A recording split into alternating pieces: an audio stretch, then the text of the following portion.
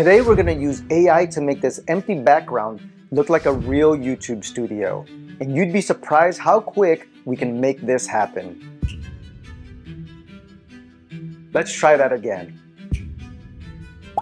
To make this all possible, first let's take a photo of this empty background. So there's two applications we need to make this magic possible, Photoshop and Final Cut Pro. Let's start off with Photoshop.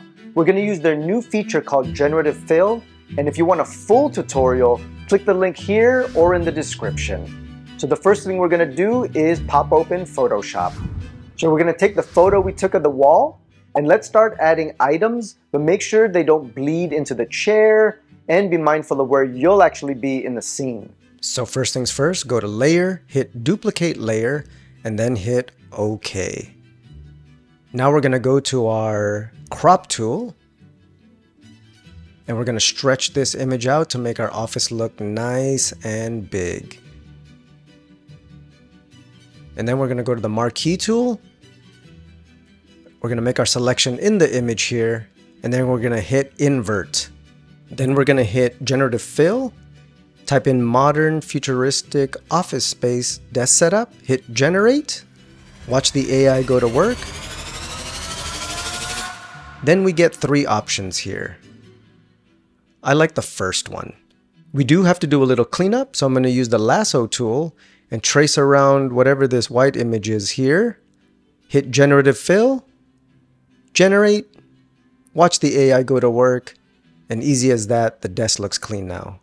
I'm going to trace over here as well, hit generate. Now let's add a plant in here. We'll use the lasso tool to trace around, hit generative fill, type in office plant, watch the AI go to work, and that's the image I wanted. For a full detailed tutorial on Photoshop AI Generative Fill, hit the link here or in the description. So now we have our footage from Photoshop and it's loaded into Final Cut Pro and it's on our main timeline down here. And right above it, we have my video footage I have with my talking head. Now if I hover over both clips, you can see it one on top of the other, but you can see the line here, the rectangle, where the video footage is right over. What we have to do is blend this in and we need a mask to do that. So we're gonna go right to our effects button here, type in mask, M-A-S-K, and we're gonna take that shape mask and put it right onto our video footage here. So now this is the mask.